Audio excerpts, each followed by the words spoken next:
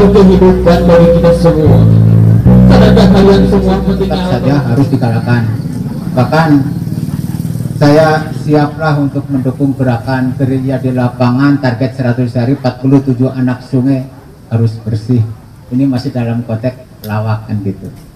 Sekali lagi saya ingin jawaban dari tim Bedah Sungai kemarin ketika moto di lapangan apa jawabnya Anda no atau yes Ya. Kami siap dukung Bandung kreatif bersih dan juara. Ah kurang tarik. Lagi. Oh, coba yang yang keras. Ini moto yang paling bagus harus bisa dilestarikan nih. Ketua, ya. Sekali lagi. Kami siap mendukung Bandung kreatif bersih dan juara.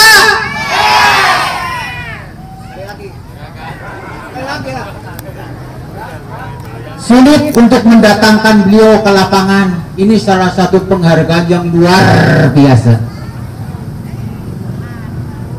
We are ready go smart. Bandung kreatif clean and win ya clean and win. Sekali lagi. We are ready to smart. Bandung kreatif clean bagus bagus bagus. Kalau dulu mah nggak begitu. Kalau dulu itu saya dukung tujuh agenda program prioritas kota Bandung. Berarti support the seven Bandung priority program. Sekarang mah kami siap mendukung Bandung kreatif bersih dan juara. Alhamdulillah. Masyarakat itu baik ormas LSM wartawan katanya omong doang atau komodo komentar modal doang kami buktikan langkah konkret tindakan nyata Hal ini adalah salah satu tindakan untuk menjalankan amanah Undang-Undang Republik Indonesia 1945 dan yaitu tanah air dan seisinya adalah milik negara yang harus dipelihara oleh kita semua. Kalau bahasa agama inna dzofatu minal iman kebersihan adalah sebagian daripada iman. Pak Dan Ramil wakili para lurah di Kecamatan Ujung Berung juga hadir para ketua RW yang kami hormati para kelompok peduli lingkungan khususnya ketuanya Pak Darwan Pak Sudarwan ini disebutnya kelompok sosial sosial peduli lingkungan KSPL kreatif yang kami banggakan marilah kita panjatkan puja dan puji syukur kepada Ilahi Robi bahwasanya pada hari ini dari kelompok KSPL kreatif ini menyelenggarakan kegiatan eh, pertama penanaman pohon, kedua eh, mengadakan kegiatan kali bersih, Pak. Jadi apa yang disampaikan tadi oleh Pak Sudarwan, kalau Pak KUA tadi itu kalau memang untuk pakai wudhu najis, Pak. Jadi tidak mungkin kalau eh, kotoran manusia, kotoran hewan dipakai wudhu gitu ya. Wah itu najis, tidak boleh. Artinya uh, menggali apa uh, sungai kurang lebih berapa orang Pak Sudarwan? 50 orang lebih ya? lebih 50 orang. Nah ini merupakan tentu kami dari unsur pemerintah kecamatan Pak merasa bangga khususnya dengan KSPL ini bisa menyelenggarakan kegiatan-kegiatan sosial yang tentunya mendukung program pemerintah yang dulu di bidang lingkungan hidup ya tentang lingkungan hidup. Tapi karena memang kami sampaikan juga pada kesempatan ini bahwa Kecamatan Ujung Berung bukan saja dari bidang lingkungan hidup Pak, bidang seni budayanya juga merupakan kebanggaan khususnya Kota Bandung di mana eh, kita punya lahan yang disediakan oleh pemerintah Kota Bandung yang sampai saat ini menurut informasi ada 10 hektar. Namun demikian masih bertahap pada kali ini merupakan bagian daripada eh, program eh, pemerintah kota dalam rangka menciptakan juga eh, seni dan budaya yang ada di kecamatan Bapak Haji Adib Muhammad dipersilakan.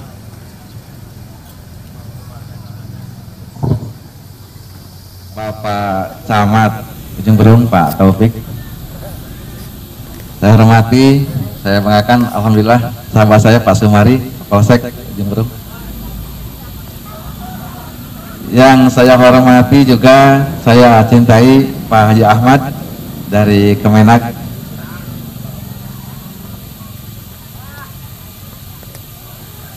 yang saya hormati saya cintai saya banggakan seluruh warga yang hadir sepuh ini sepuh para tokoh masyarakat kesatuan sistem kehidupan di dunia ini yang tidak dipisahkan dari kehidupan manusia. Mengapa demikian? Karena memang keberadaan pohon itu Allah ciptakan, Tuhan ciptakan untuk kepentingan manusia. Yang mana kita tahu pohon itu adalah memproduk oksigen. Dan kita manusia sangat membutuhkan oksigen itu. Bahkan menurut penelitian katanya, para pakar mengatakan rata-rata satu pohon itu bisa menghidupi memberikan oksigen untuk dua orang ini adalah makhluk Allah pohon juga makhluk Allah maka makhluk Allah yang pohon itu kan punya nyawa. Pohon itu punya nyawa. Oleh karena itu nyawanya pohon ini adalah sebagai tanda pohon ini memang oleh Allah diciptakan untuk membangun kebersamaan dengan kita. Jadi kalau Pak Dawa tadi mengatakan perlunya ada kebersamaan antara pemerintah kota dengan masyarakat, ya, bukan hanya dengan pemerintah kota, semua kita perlu ada kebersamaan. Kita jangan kalah oleh pohon. Pohon pun diciptakan Allah untuk membangun kebersamaan dengan kita. Mujanadah kata Rasulullah. kelompok sosial peduli lingkungan yang punya Pak Darwan mudah-mudahan nanti kita bisa bekerja sama lagi ke depan lebih jauh insya Allah kita punya APBD Kota Bandung punya APBD dan APBD itu milik rakyat milik masyarakat. APBD itu dari rakyat oleh rakyat untuk rakyat bukan untuk wali kota. Bukan untuk wakil wali kota. Bukan untuk kepala dinas tapi itu semuanya untuk kembali kepada rakyat. Oleh karena itu saya ingin mengajak kepada kita semua kita bareng-bareng bersama-sama membangun kota Bandung ini dengan sistem kolaborasi itu kebersamaan. Kebersamaan antara kami pemilik atau pemegang regulasi kebijakan dengan seluruh komponen warga masyarakat dari mulai muspikanya Pak Camatnya, Pak Polseknya, dan Raminnya di Kementerian Agamanya Pak Ketua RW, Ketua RT semuanya. Seluruh warga masyarakat kita bersama-sama berkolaborasi yaitu menciptakan sebuah sistem pembangunan di Kota Bandung yang insya Allah mudah-mudahan ke, depan Bandung bisa menyusul Bandung bisa mengejar kota-kota lain kota-kota ibu, ibu kota provinsi di, di kota lain seperti Surabaya. Surabaya itu ternyata sudah jauh meninggalkan kota Bandung saya sampaikan sedikit di sini. Agar kita termo- termo- termotivasi ya. 2005 Bapak Ibu Sarayana punten tahun 2005 saya sudah di Kota Dewa Surabaya maksudnya bukan provinsi ya, Kota Surabaya. Itu punya anggaran dua setengah triliun rupiah. Artinya selisihnya cuma 500 miliar atau setara dengan apa insya Allah nanti siang saya dan eh, legislatif dan eh, kami eksekutif legislatif insya Allah Pemkot akan paripurna paripurna mengesahkan APBD perubahan insya Allah. Dengan APBD perubahan ini kita di posisi 4,7 triliun rupiah. Ada penambahan 200 miliar. Artinya tetap ya. Di sana sekarang di Surabaya itu lima sisi pembangunannya di sana dengan selisih yang sama ternyata subhanallah sekarang Surabaya sudah menjadi kota terbaik di Indonesia. Kota yang paling berhasil di Indonesia. Sementara Bandung masih seperti ini. Oleh karena itu, yuk kita bareng-bareng bersama-sama dengan sistem kolaborasi tadi, kebersamaan tadi, sama-sama kerja, bekerja sama, ya, kita sama-sama antara pemerintah kota Bandung pemegang regulasi, pengumpul APBD, sekali lagi pengumpul ya, APBD kan dikumpulkan dari masyarakat, nanti akan disalurkan kepada masyarakat bersama-sama. Mudah-mudahan kita bekerja sama, insya Allah ke depan, mudah-mudahan kita semua dengan kerjasama yang baik, insya Allah akan mampu mengejar ketinggalan kita dari kota-kota yang lain, insya Allah. Oleh karena itu, saya sekali lagi berharap ke depan kita bersama-sama melalui menyongsong hari penanaman pohon sedunia ini, ya, kita juga mencoba untuk bersama-sama membangun Bandung yang kita cintai ini dengan penanaman pohon yang sebanyak-banyak di mana Allah seperti murah tadi. Ekoria ya, yang merah tuh ya, insya Allah. Itu bunga bunga pohon itu emang dipilih oleh Pak Wali Kota. Kenapa? Karena pohon itu tidak terlalu sulit untuk memeliharanya. Tidak usah setiap hari di, disiram. Ya. Tapi itu pohon bagus sekali ya, insya Allah. ya. Mudah-mudahan itu semua direspon oleh kita semua sehingga insya Allah ke depan 100 hari ke depan Bandung menjadi Bandung berbunga hijauan. Dilaksanakan kalinya bersih jernih sungaiku dan hijau. Apa namanya? Lingkungan lingkungan kita ya insya Allah saya mudah-mudahan bersih ini terutama. Saya berharap kepada kita semua bersih yang paling penting adalah bersih dari jiwa kita sebagai baik penyelenggara di pemerintahan ataupun kita sebagai warga masyarakat Kota Bandung. Kita harus sama-sama membersihkan jiwa dulu. Karena kalau jiwa kita tidak bersih, saya punya keyakinan, jangan 4,5 triliun rupiah dikasih 10 triliun pun apabila kita kalau tidak bersih kita, saya punya keyakinan tidak akan cukup. Dan kalau sudah seperti itu, untuk dalik kita hati-hati akan berhadapan dengan KPK. Karena hari ini ternyata Pak Camat Punten, pada jajaran sudah jajarannya, ternyata KPK kemarin diwakili oleh Pak Bushel Mokodas datang ke Kota Bandung, datang silaturahim kepada Pak Wali Kota dan sempat dengan saya ngobrol diskusi kecil. Ternyata mereka siap datang bekerja sama di Kota Bandung, mereka siap bekerja di Kota Bandung untuk mengadakan penyuluhan pembinaan kepada kita. Salah satu tupoksi KPK adalah KPK itu tupoksi pertama ada dua. Yang pertama KPK itu adalah pencegahan.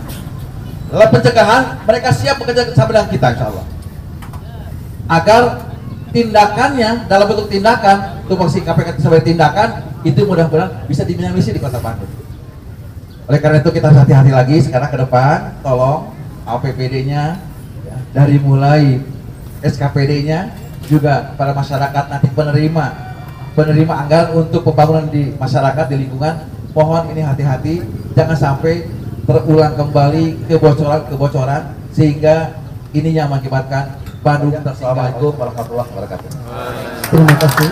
Selanjutnya penyerahan trofi Bandung Kreatif dan Bandung Juara kepada Ketua Tim Pedas Sungai Bapak Edi Darmawan dipersilakan.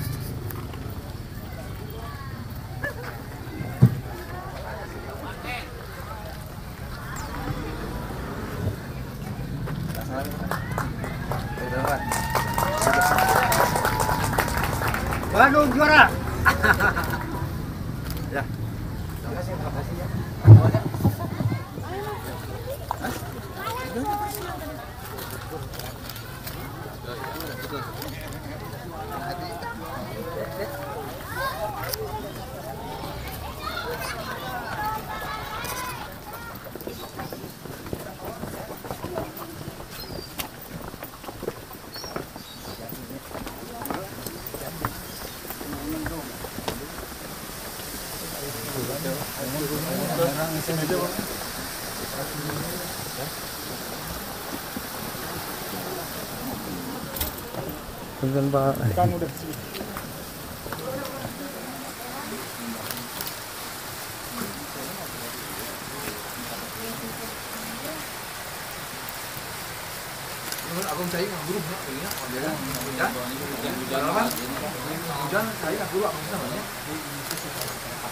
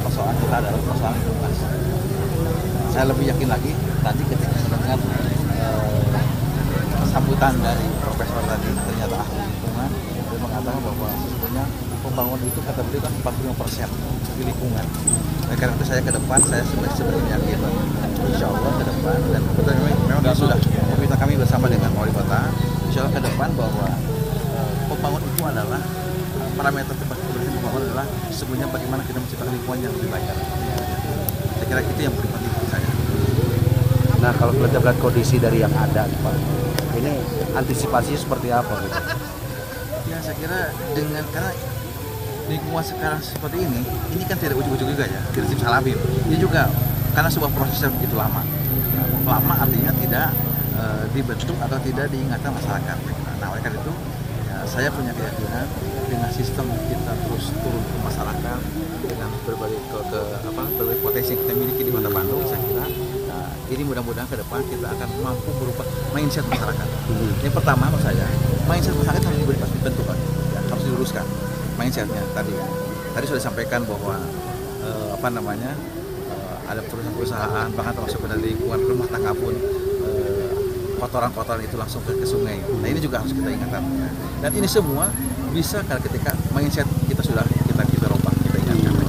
Tentu saja untuk menciptakan merubah mindset warga masyarakat ini juga tidak tidak mudah, tidak sederhana. Ya kan menurut saya perlu kesabaran. Karena memang kita hadir di dunia ini oleh Tuhan di dunia ini dilahirkan ini memang untuk me- memelihara lingkungan yang ada. Dan sekarang memang sudah seperti tadi Profesor mengatakan semua sudah mengatakan saya, saya yakin ya sepakat bahwa ini adalah akibat mindset kita yang sudah berubah. Oleh karena itu mudah-mudahan pergeseran nilai ini akan kita coba luruskan kembali kepada eh, normatif yang ada Tapi sedih kan lihat lingkungan seperti ini ya. ya kalau bilang sedih pasti sedih lah saya saya kira orang yang masih punya nurani ya pasti bakal sedih. Saya kira pasti bakal sedih saya kira. Karena itu saya dengan Pak kami Pak Kota insya Allah sudah mencanangkan. Kita punya ada 22 portil harus hari ini di antaranya yang paling penting adalah urusan lingkungan. Maka Senin kemarin kita sudah launching misalnya kita akan bereskan gorong-gorong. Alhamdulillah insya Allah kita siapkan paling tidak 1.500 orang. Nanti itu mereka di bawah komando eh, dinas bangunan ya. Nanti mereka akan dibimbing oleh dinas bangunan dan terus dipantau oleh kita semua barangkali mereka akan bekerja memberi gorong-gorong salah satunya seperti itu kenapa sebelum hujan turun kita harapkan minimal kalau gorong-gorong sudah di sedimentasi dan sudah diangkat oleh kita mudah-mudahan akan sedikit lagi banjir cilencah banjir cilencah di antaranya ya. Pak Wakil kalau buat eh, program Bandung Bersih apa yang menjadi prioritas? ya tadi Bandung bersih itu kita yang pertama kalau Bandung bersih itu tentu bersih dari sampah ya. Se- selain tadi saya bilang bersih, Bersih hati diri. ya, bersih diri bersih hati ini yang penting dulu. Karena kalau tidak bersih diri bersih hati saya kira program apa pun yang disarankan oleh wali kota saya kira tidak akan ada artinya lah ya tidak oleh karena itu tidak akan efektif mudah-mudahan setelah bersih diri bersih pribadi kita masing-masing mudah-mudahan kita bersih lingkungan dan arti kata kita sampah akan kita menjadi prioritas utama kita makanya sekarang kemarin ketika saya sebelum dilantik saya menyatakan eh, menang di 23 Juni. Kemudian saya eh, sowan kita diskusi kita silaturahim dengan Pak Gubernur dalam menangani urusan-urusan lingkungan ini tadi kebersihan. Alhamdulillah kita mudah-mudahan di bulan Oktober November tahun inilah insya Allah Oktober sampai November ini kita dapat bantuan dari gubernur insya Allah ada 10 eh, apa namanya mobil. Ya, mobil mobil sampah insya Allah ya kemudian ada 100 tadinya gubernur mau ngasih 75 motor sampah kontainer sampah. Tapi saya nego-nego ya kita ya bukan nego ya yang melas-melas lah kita minta ke mereka. Nah, alhamdulillah dia akan berikan 100 jadi mudah-mudahan. Dan insya Allah di di APBD, Kota Bandung pun akan kita canakan lagi akan kita anggarkan. Mudah-mudahan akan hadir paling tidak 15 sampai 20 eh, apa namanya eh, mobil mobil mobil tank sampah ya saya kira. Mudah-mudahan eh, dengan upaya-upaya maksimal seperti ini ya untuk jangka pendeknya mudah-mudahan bersih lingkungan kota Bandung sampah tidak lagi terlihat di di TPS TPS saya kira ya sekarang kan sampah itu sudah terlihat kita lihat, kita lihat. misalnya sampah sudah ada di pinggir jalan, Jalan. raya, di jalan raya ya, di pasir saja lihat ya, sehingga akibatnya pagi-pagi pada macet. Kenapa? Karena lari sampah ya. Saya kira mudah-mudahan ke depan dengan ditambah armadanya, saya kira mudah-mudahan ini dalam eh, program yang jangka pendek ini bisa lingkungan sampah. termasuk sungai-sungai juga ya Insya Allah, ya sungai-sungai tadi, gorong-gorong sungai-sungai Insya Allah kita. Alhamdulillah saya kemarin juga sudah mendapat eh, informasi laporan dari kewilayahan ada bukan hanya sungai di sini, tapi bedah sungai itu sudah beberapa sungai ada. Mengajak masyarakat ini yang yang agak agak Sulit berat, ya? agak sulit. Oleh karena itu saya kemarin sudah ngobrol diskusi panjang dengan para alim ulama, dengan para ustadz, para kiai, ya dari melalui dari MUI-nya dan eh, ya seluruh tokoh-tokoh masyarakat saya sudah ulama ini, para ustadz ini merupakan informal leader. Yang kadang-kadang informal leader itu sebenarnya pemimpin yang non formal itu kadang-kadang lebih didengar oleh masyarakat ketimbang formal leader seperti saya. Saya wakil wali kota wali, wali kota belum tentu didengar oleh masyarakat. Tapi informal leader kadang-kadang didengar, didengar oleh masyarakat ya kadang-kadang. Mudah-mudahan yang kerjasama dengan mereka juga insya Allah kita kolaborasi mudah-mudahan kita akan mampu membereskan tanggung